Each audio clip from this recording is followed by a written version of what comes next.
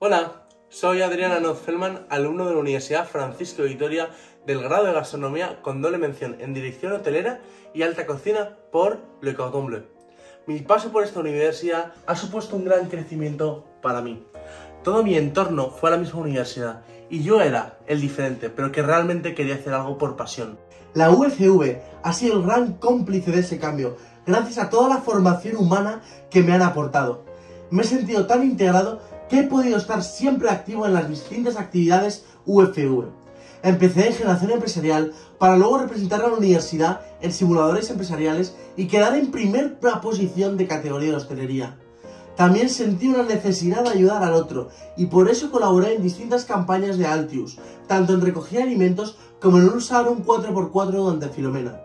Pero he de decir que la mayor implicación que he tenido en los dos últimos años fue en delegados y en sostenibilidad, ya que sentía que mi misión no terminaba ahí.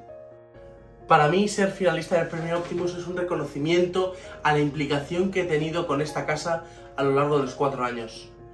Pero también creo que es un sello distintivo de la universidad en la que cuenta la valoración integral del alumno.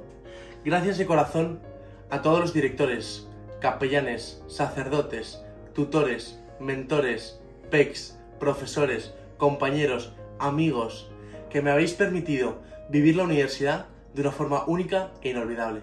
Gracias y nos vemos en el campus.